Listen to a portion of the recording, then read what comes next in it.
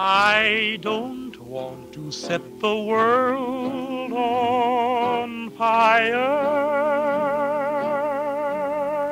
I just want to start a flame in your heart.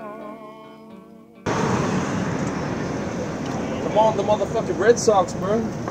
Come on, the motherfucking Red Sox, yo.